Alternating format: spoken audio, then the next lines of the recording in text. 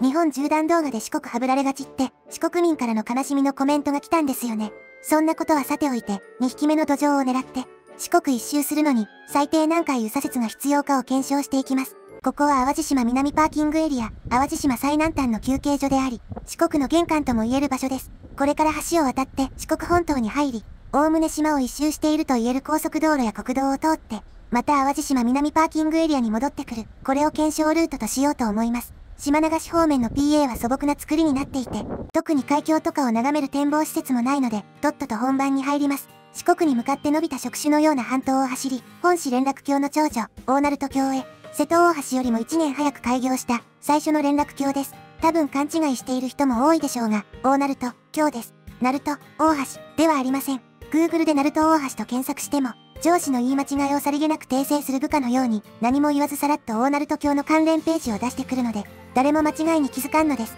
そしてそんな、誰からも正しい名前で呼んでもらえない橋を渡った先のこの土地も、全員から四国本島だと思われている島です。実は大毛島という立派な名前を持っています。島内には大学や高速インター、贋作にこだわったことで世界的に有名な大塚美術館もあり、本土との間には3本も橋が架けられているのですが、その立派さがあだになって、かえって島感を失っています。で、大鳴門橋と大毛島を正しく認識している人たちすら勘違いしてそうなのが、大鳴門橋と対になってそうな名前の小鳴門橋です。大鳴門橋がさっきの橋なら、こっちの大毛島と四国本島をつなぐのが小鳴門橋だと考えるのが道理でしょう。しかし実は小鳴門橋は隣に見えてる県道の吊り橋で、こっちの高速の橋は、むや橋という大味な名前がついています。そんな勘違い三姉妹を越え、四国本島に上陸。鳴門の料金所で、穴に入れた物から諸話台が出ていき、生きり立つバートは対照的に、慣えた気分でネクスコの道路へと進みます。四国一周、最初に世話になる道路は高松道。四国の関西口、鳴門から香川県の沿岸部を経て川の江ジャンクションに至る、香川県の脊椎となる道路です。しかし、徳島県内においては随分な扱いのようで、神聖な愛の生産地を排ガスで汚されてたまるかと言わんばかりに、讃岐山地の南麓に追いやられています。そのため、徳島区間ではしょっちゅうトンネルにかかり、運転には少々鬱陶しい思いをします。しかしそれは、同時に高台を走っているということを意味しているので、左を見ていると時々、関西の食卓事情を支える徳島平野の肥沃な大地が望まれます。偉大なる暴れん坊、四国三郎が、山林でくすねてきた土砂や叩きのめしてきた動植物をぶちまいたことでできた三角巣です。鳴門、板野と、吉野川河口の町を一通り巡ると、道路は北へ進路を取り、県境の大阪峠へと向かいます。検索すると、サジェストに真っ先に心霊、などと出てきてこちらを驚かしてきますが、こっちは時速100キロで走る1.5トンの金属の塊を操っているのです。勝負になりません。県境のトンネルの楽しみといえば、抜けた先のカントリーサインです。どんな図柄か当ててみたり、見えたサインは何をシンボライズしたものか考えてみたり、ゲーム性があって楽しい要素なのですが、香川県のゲームに対する態度を考えれば、容易に想像できたことです。代わりに、東香川市の方が頑張ってくれました。図柄はハマチ、今は合併で消えてしまった旧引田町は、世界で初めてハマチの養殖に成功し、近代養殖漁業の礎となった町です。また、同じ香川の小豆島と並び、醤油の産地としても有名です。瀬戸内海に出れば、ない頭を使って群れてくれているから簡単に取れるイワシ。日照時間が長いから声援も簡単で、翻って雨は少ないから稲作には適さず、代わりに小麦の生産が盛ん。うどんに必要なものは、水以外、すべて近場で揃います。香川が3食うどん県になるのも納得というものです。そんな香川県最初の PA、津田の松原に立ち寄り、昼飯にすき家の牛丼をいただきます。ゲームしながら昼食後の眠気を待ち、シエスタを挟んで1時間半ほどの休憩で再出発します。ずいぶんのんきしてますけど、四国は小さいからね、問題ありません。車内でゲームしてたら、おっかないことに秘密警察がこっちを睨んできました。公選民主主義人民共和国では、ゲームを1時間以上プレイすることが固く禁じられています。破ってしまうと、再教育という名目で強制労働施設に送られ、雨のない讃岐の大地で、合死するまでため池を掘る労役が課せられます。また香川政府はスピードに対しても理解がないようです。ここから先はしばらく時速80キロの制限がかけられます。高松市を抜けると制限が解除されることから、車が多いから速度出しちゃダメってことなんでしょうけど、四国にそんな数の車はおらんだろう。などと舐めたこと考えてたら、思ってたより車が増えて面食らいます。実は香川というのは意外に人が詰まっていて、三大都市圏以外では、福岡、沖縄に次いで3番目の人口密度を誇っていたりします。それにしても、カメラを新しい視点にしてから、やけに車がふらついているように見えますが、ドラレコの車線逸脱警報は反応してなかったから、まあ普通の運転の範疇と言っていいでしょう。神がお試しで作ったようなテンプレート型の山々の間を縫うこともせずトンネルで蹴散らし、なだらかな丘陵を越え、坂出市へ。前方に手抜き富士が現れると、間もなく坂出ジャンクションに差し掛かり、四国の中心、岡山からの瀬戸大橋道と合流します。少し進むと、おそらく瀬戸大橋からやってきたんだろうトラックたちがずらり並んでいました。さて、ジャンクションを通過し、車は丸亀市に入りました。フードチェーンに名前を奪われた悲運の街です。実は丸亀製麺は、元は焼き鳥が本業だった上、1号店は加古川だし、創業者は神戸出身で、その父は隣町の堺で出身。挙句香川県には1店舗しかないし、丸亀市には、名前を除き、何一つ関係がありません。しかも丸亀が特別うどんを名産としているかというとそんなことはなく、丸亀城とうちわが名物であると主張しています。じゃあなんで丸亀を名乗っているのかというと、創業者が丸亀市で行列のできてる製麺所を見たから、こんな理由で丸亀の名前が世界に出ていっちゃった丸亀市が不憫でなりません。讃岐山地に押し出されるように、道路は海岸線に近づきます。しかし、海におみ足を沈めて、メンテ費用が親知らずの二の前になるのは避けたいと、必死に山にしがみつき、大量のトンネルで愛媛を目指します。連続するトンネルの3つ目が県境。これほどまでに説明の余地のないカントリーサインも珍しいものです。見ての通り、剣の木と花と鳥です。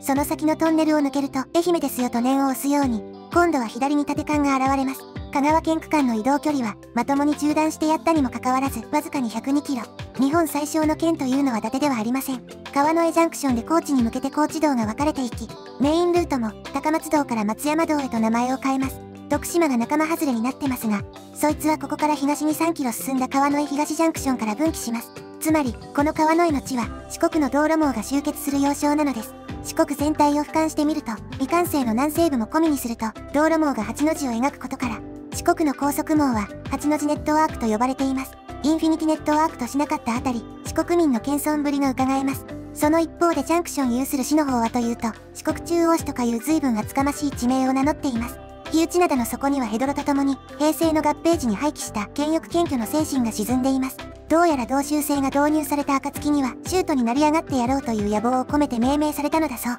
しかし州都候補には、他に高松市や松山市といった競合が名乗りを上げてますし、そもそも同州制自体、未だ主張の領域を出ない、机上の空論のままです。存在するかさえ怪しい徳川埋蔵金で川残用してるような使命です。かつては馬と呼ばれた四国中央市の平野は狭く、ほんの標高60メートルの道路からでも、青々とした水をたたえる瀬戸内海火打灘を望めます。もう少し視界を右に向けると、独特の白煙を吹き上げる工場の煙突群も目に映ります。四股中は生死の町、そのお盛んぶりは本邦一であり、ここ数年は、富士市や苫小牧を抑え、紙製品の出荷額全国1位を取り続けています。今走っている四国山地の際の斜面は、高祖や三俣の群生地であり、これをもとに和紙を作り始めたのが、オナ中の製紙業の始まりです。明治期に入ると、あらゆる産業に近代化の怒涛が押し寄せ、全近代的な工芸品は軒並み壊滅してしまいますが、どうやらこの町には相当に頭の切れる実業家がいたらしく、見事に近代化に対応してみせ、現代に至るまで生死を続けているというわけです。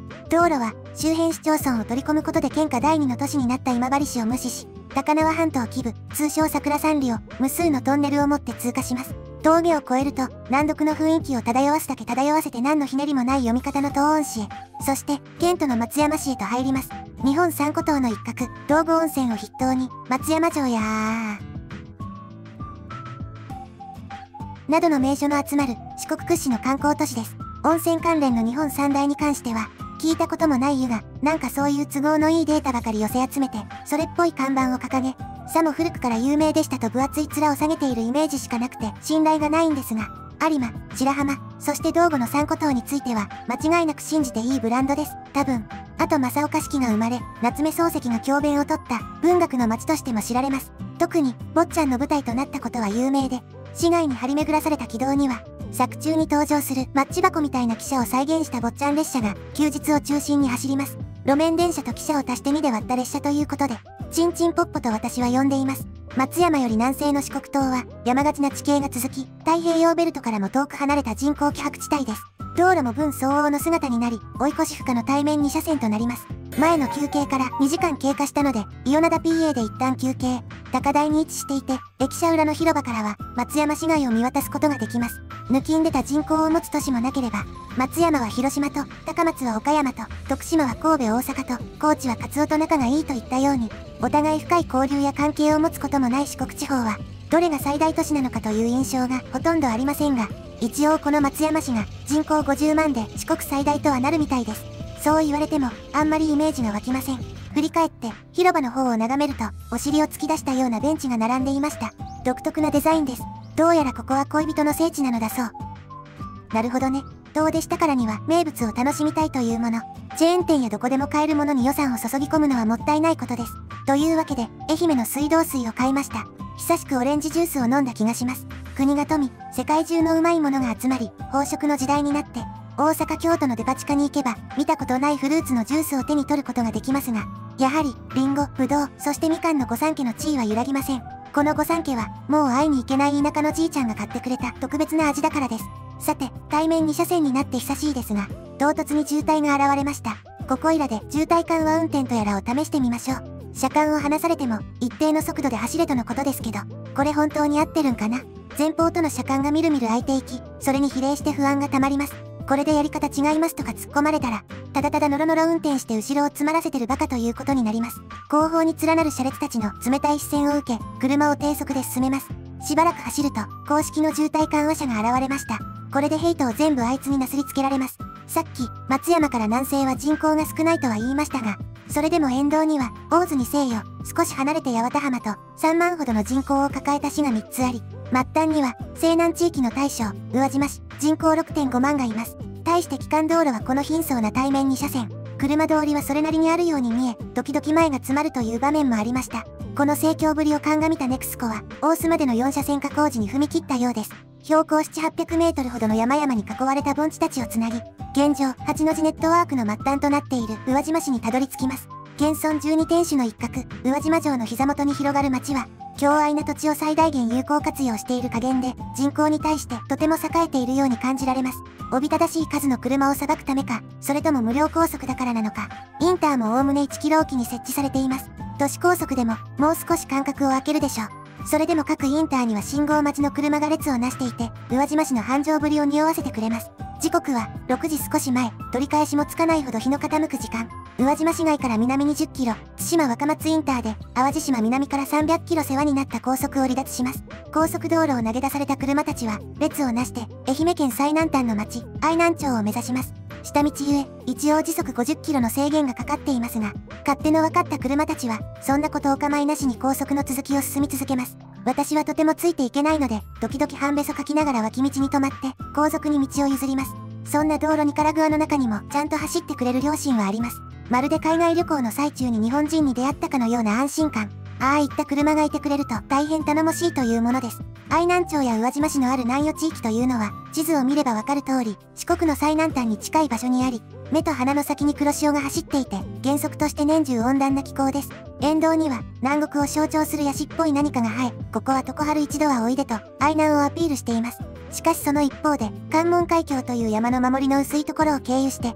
対馬海流から湿った冷たい風が吹き込んでくるので、わずかでも山の手に入ると、なかなかの豪雪となることも珍しくないのだそうです。名古屋に雪をもたらす息吹おろしと似た原理です。実はこの時も、山奥の峠道が降雪のため封鎖されていたみたいで、そんなことを本日泊まった宿の中で知り、四国山地以外雪は降らんだろうと、のんきにサマータイヤ履いてきちゃったこの車が無事本国へ戻れるか不安になったものです。空の色も次第に赤みを帯びてきました。休憩がてら立ち寄った道の駅でカメラをオスモに交換しました。オスモはアクションカムにしては暗所に強いことに定評があります。頼りにしてるからな。6時半過ぎ、県境を越え、本日の宿のあるスクムに到着します。お疲れオスモ、おかげで綺麗な絵が撮れた。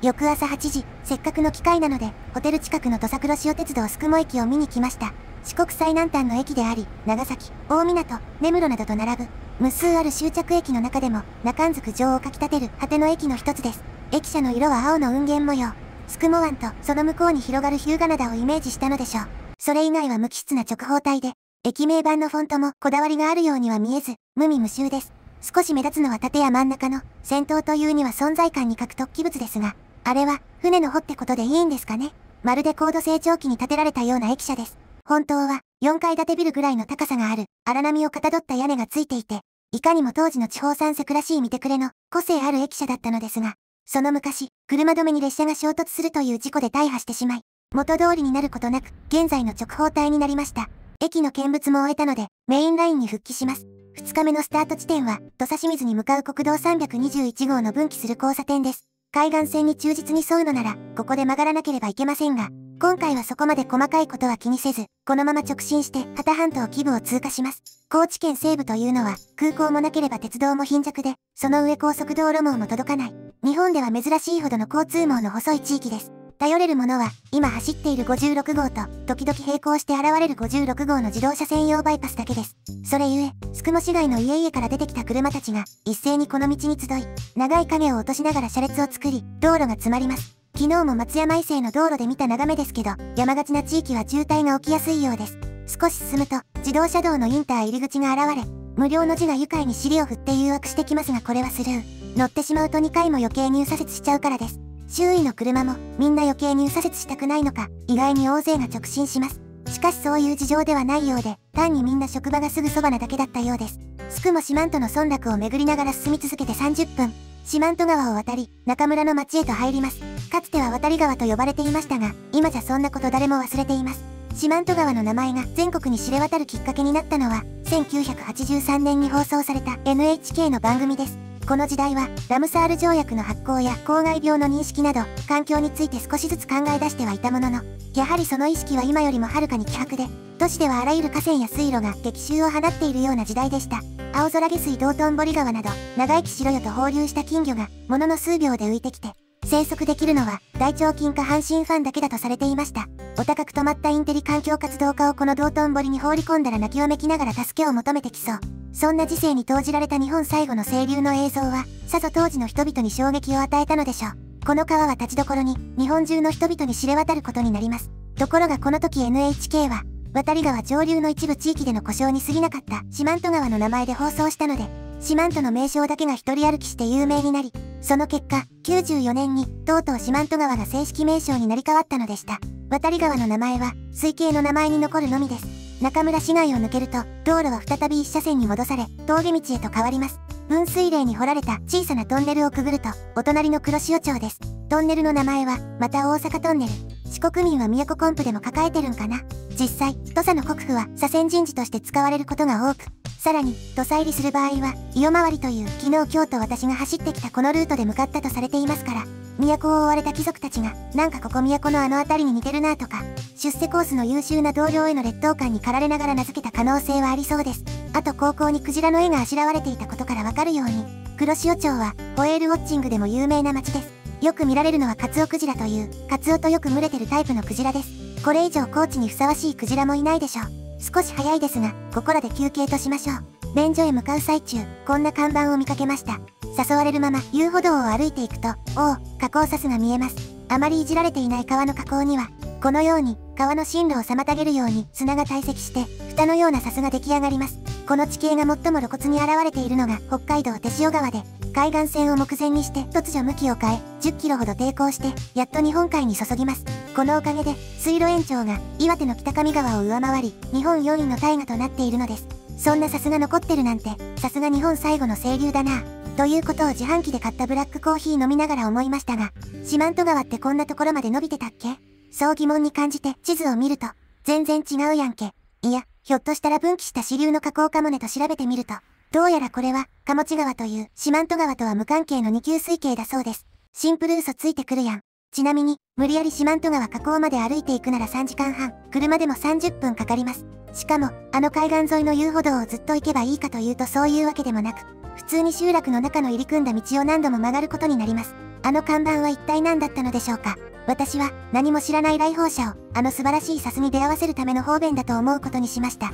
鴨地川河口なんて正直に書いたら誰も見に行こうとはしないでしょうからね。道の駅から先は少しの間海岸線を走ります。並走する鉄道からだと、しょっちゅうトンネルやら植物やらが邪魔してきて、不完全燃焼気味で終わる土佐湾の眺めが広がります。空の色を映したようなよどみのない青色。一別しただけで産業に汚されていない海だとわかります。左手、崖の方を見ると、ところどころに黒潮鉄道の橋脚や路盤が見えます。この辺りの列車本数は日に18往復、おおむね1時間に2本ぐらいあるということですから、少し運が良ければ列車が見えるかもと思いましたが、果たしてすれ違うことができました。後で時刻表を引いてみると、お前らが勃起ザコックをいじり回してる朝6時に高松を出発した特急四万十号だそうです。はるばる4時間、終着中村駅に向けてラストスパートをかけている最中です。再び海岸線を離れ、山間へと入ります。ここから先の海岸はあまりに瞬間で、鉄道より融通の利く道路ですら、右折を諦めるほどなのです。しばらく進むと、中村市街で途切れていた高速道路が再び現れます。ものの数キロで終わってしまいますが、この先の峠は、ひど道というほどではないものの、急勾配急カーブが続き、大型車だと少々走行困難なため、優先的に作られたようです。所要時間は、高速道7分、下道10分。そんなに大した差じゃありませんが、全車一斉に右折レーンに入ります。前方の車列が消え、悠々走っていると、九段の峠道が現れます。このオメガカーブを持って、標高を100メートル稼ぎ、高所にある久保川の町に入ります。久保川に入ってしばらく進むと、さっき別れた高速道と合流。おそらく私の少し後ろを走っていたんだろう車たちが下道に引きずり下ろされています。高速に乗ったり下ろされたり、四国南西部の車は大忙しですが、それもここでおしまいです。四万十町の中心街、久保川からは、八の字ネットワークが復活するからです。しかし私には関係のないことです。無料の高速道路が完成した以上、長距離移動するにあたって、わざわざ信号も歩行者もいる下道を走る必要はありません。交通量は激減し、稀に沿道の街から現れる車も、次か、その次の街で消えていってしまいます。新幹線が完成し、特急が姿を消した幹線を思わせる眺めです。しかし、そんな寂しい風景も、須先まで来ればおしまいです。ここからは、高知市の勢力圏に入る上、高速が有料になって、金払いたくないドライバーが下道に降りてくるからです。山を越え、高知エリアに入ると、さらに車が増え、道路も4車線化します。県内全域から高知市に向けて人が集まってきていることが見た目で感じられます。スクモを出発して、約3時間、仁淀川を渡ると、いよいよ高知市域に入ります。とはいえ、ここはまだ市の外れの地域。平野に横たわる丘陵を越えるまでは、ベッドタウンの延長線といった雰囲気です。峠をトンネルで抜けると、無数のチェーン飲食店や売り物のあるカーディーラーにないカーディーラー、ロードサイドはにわかに活気づき、いよいよ県の中枢に近づいてきたなと感じさせる都会のような街並みになります。淡路島南を立ってからここまで延々と直進を続けてきましたが、ついに最初の右折の時が近づいてきました。右車線へと移動しましょう。道路の表記によると、直進が高知インターで、右が五台山だそうです。んや五台山ってなんやねん。もっとみんな知ってる地名入れようや。編集中の私はそう思います。ところが、この時の私はというと、あああの五台山ねと、ありもしない知識を自らにひけらかし、堂々と右に曲がります。そうして、路面電車が通ってないことに気づき、どうでもいいところで右折処女を喪失して、呆然としながらルートに復帰するのです。改めて、淡路島南パーキングエリアより500キロ、ここに来てついに、一度目の右折を行います。宇和島で高速を降りた時から世話になった国道56号と別れ、次は、ほぼゴールの徳島まで、55号に世話になります。並走する路面電車は、時間9本ほどの運転。ずっと通りを走っていれば、そのうちすれ違ったり追い抜いたりするはずです。今回はわずか1キロの並走ですが、運よく巡り合えました。いかにも老紳士っぽい見た目の電車。同期は湘南電車とかです。路面電車というのは速度が遅く、しかも走行距離も短いので、あのように、平気で60年70年落ちの車両が道路をカッポしてたりするのです。お昼も回りましたので、そろそろ昼食としましょう。高知市を過ぎて最初の道の駅、安に立ち寄ります。高知には今まで何度か足を運びましたが、なんやかんやでカツオにありつけてないんですよね。今度こそ、名物のカツオのたたきをいただくとしましょう。しかしあるのは隠居のカレーハウスだけでした。でもまあ、窓越しに海見ながら食べるナンもいいものです。食事を終えて車に戻ると、ちょうど道の駅併設の鉄道駅から汽車が出るところでした。終着の那覇駅までの所要時間は45分程度、車なら40分程度。ひょっとしたらどこかで追い抜くかもしれません。そういえばここから歩いて10分ぐらいのところに、テイコーってのがあるんですが、そこに、日本ではもう少なくなってしまった、定期で動く可動橋が残されているんですよね。線路もないのに忽然と現れる踏切や、跳ね上がった時の集落のジオラマに雑に突き刺さった道路パーツ感など、インパクトのある橋です。芸西村から先は、再び八の字ネットが途切れ、この下道が唯一の足となります。何年か前に走った時には橋脚しかなかったはずですが、しばらく見ないうちに随分工事が進みましたね。もう幾年もないうちに開通するんじゃないでしょうか。しかし、調べてみるとまだ未定だそうで、もうあと5年ぐらいは待たなきゃいけなさそうです。この辺りで道路は久しく海岸線へと繰り出します。本日の天候は快晴、もやなどもなしで視界は良好です。崖の上を開いて敷いた道路からは、これから走りに行く室戸岬の影がはっきり望め、心臓が踊り出すのがわかります。思えば、以前ここに来た時も、こんな雲一つない晴れだった気がします。というより、私が高知に来る時はいつも晴れです。実は、高知県の日照時間は、全国でもまあまあ長い部類に入り、ランキングはいつも上位です。その一方で雨も多く、降水量1位を取ることも珍しくありません。とまあ雨はないが晴れでもない、中途半端な曇りが滅多になく、このように、多少日頃の言動に気をつけておけば、やすやす快晴を引くことができます。高知県もかなり東部まで進んできて、ここは那覇里、宿毛から並走してきた鉄道は、この町でついに断絶することになります。本当は室戸経由で徳島まで繋がるはずが、時代の流れとともに不採算路線とされ、計画廃止になりました。鉄道の意思は高速道路が継ぐ、なんてこともなく、道路すら、この先の地形のあまりのガードの硬さに舵を投げ、開発を諦めました。現在建設中の道路は、この町で進路を北東に取り、そのまま四国東海岸を目指します。なんてかわいそうな室戸。しかし、この国の自動車道整備の思想は、1時間走って道路網にたどり着けばいいというものです。室戸から那覇まではだいたい40分ぐらい。だったら無視でいいやってなるのも仕方ないというものです。そうして入った室戸市は、台風情報なんかを聞いているとよく耳にする町です。敦賀や赤穂、オプーナと同じく、名前だけ知ってるけど実物は知らん見たことないって人も多いでしょうが、こういうとこです。主な産業はもちろん水産。しかし、日本の農水産業は、もうボロボロなもんで、人口は間もなく1万を割ろうかというところまで来ました。事情の異なる北海道を除き、日本で最も人口の少ない市です。そんな室戸市街の交差点で2度目の右折。直進が国道でも良さそうな気がしますが、この国道は、ご丁寧に室戸岬を回り込んで、四国の東海岸へと向かいます。人通りもすっかり失せ、最果てへの気分も高まり、夕方4時、室戸岬に到着します。四国の獅子というわけではありませんが、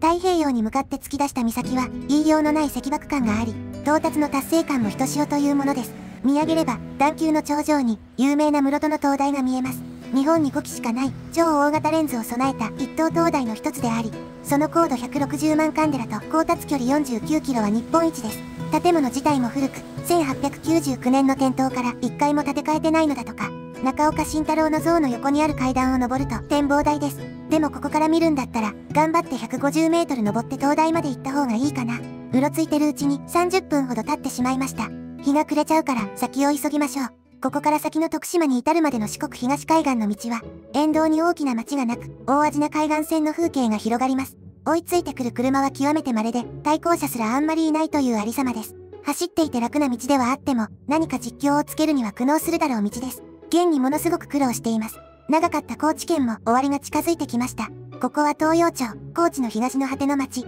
名前だけ聞くと、四国中央市が遠慮の塊指名に聞こえるレベルの鉄面ピチ名ですが、これは、東に海があるからという意味で付けられた町名です。決して東洋世界の中心などとおごり高ぶっているわけじゃありません。町の中心の観音浦港は、かつては、神戸土佐清水航路の船が寄港した地です。つまりその昔は、関西まで一本で行けたということです。17時20分、スクモから9時間かけて、ついに高知県を脱し、徳島県へと戻ります。帰還した徳島県一つ目の町は海陽町。少し前に、バスと鉄道の合いの子、DMV がデビューしたことで一時有名になりましたね。そこに見えてる朝海南駅でモード切り替えをするんですが、1日7.5往復じゃ、そうおいそれと見れるもんじゃありません。ちなみにまだ明るいですけど、もう最終便は出ていきました。高校生とご老体を相手にしてることがよくわかるダイヤです。いつか乗りに行こうと思って、もう3年ぐらい経過しましたが、結局手につかずじまいだな。まあさすがに、せっかく作ってもう廃線なんてことは考えられないんで、ゆっくり考えましょう。それより危なっかしいのは麦線の方です。JR 四国ができて今年で37年。豆腐の経営基盤の上でも、なんとか廃線を出さずに決まってきましたが、とうとう危ない路線が出てきてしまい、そのリストに麦線が入ってるんですよね。早いとこ乗りに行かないと。日和佐の道の駅で休憩がてらにカメラを交換。その先の55号バイパスの入り口手前で2度の左折を挟みます。これで4回、徳島平野の交通を束ねる4車線の直線道路を走り、徳島インターから高速道路へ復帰、鳴門ジャンクションを通過して鳴門道へと戻り、午後8時過ぎ、スタートの淡路島南パーキングエリアに戻ってきました。下りの設備に比べ、こちらは随分洒落たガラス張りの駅舎です。展望台もあります。しかし、真っ暗で何も見えないので、右左折4回で大体四国は一周できるという結論で、とっととこの動画を終わらせます。ご視聴ありがとうございました。当チャンネルでは旅行動画を週1本程度のペースでアップロードしていくつもりです。チャンネル登録とメンバーシップ、ニコニコチャンネルに入会していただくと、私と財布が嬉しいので、ぜひよろしくお願いします。